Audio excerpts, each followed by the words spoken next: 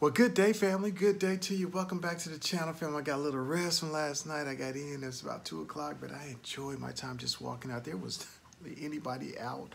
Uh, and I loved it because it wasn't the hustle and bustle. But right now, this hustle and bustle, we're going to get out in it. But uh, right now, uh, we're just relaxing and getting ready for this big wedding.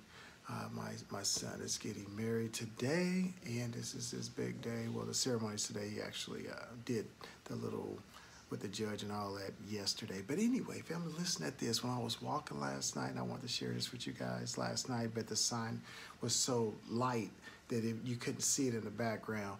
The U.S., the national U.S. debt is 36 trillion. That's with a T. 36 trillion dollars. That means that we're paying interest of each day two billion. That's right, two billion dollars each day. Family, listen at this. We got to do better. I want you to look at your credit card statement, see how much you're owing on your credit card.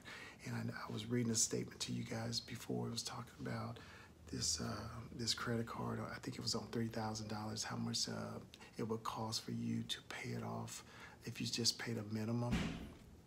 Not good. Not good. It take a long time. And then guess what? This this bad boy is high. It's high. You're gonna pay like three or four times over what you paid for initially.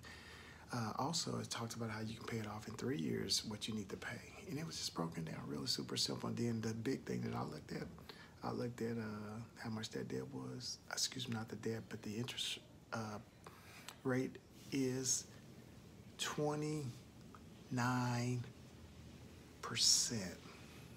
That's insanity. 29%. You got to do better. We got to do better. See, that robs you of your wealth when you stay in debt.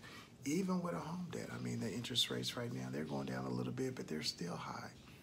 Um, I remember when I bought my very first home, when the interest rates went down, this is back in like 90, 93, uh, 1993, yeah, that's when I bought my first home and uh, the interest rates had dropped down from uh, I think it's eight nine percent. It dropped down to five percent because my credit is, has always been excellent because I pay my stuff. It's it's no genius of me. I just I just pay what I owe because that's my word. That's my bond.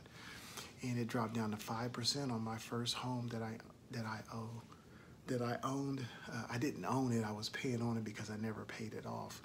And I rented it out for a year after we left uh, Washington State. It was in Washington State. People were selling their houses from California and moving up to Washington State, and that's how the housing price price uh, the price went up there in that state. But I'm just talking to you about getting out of debt, family. Get out of debt and stay out of debt. It's a wealth killer, destroy.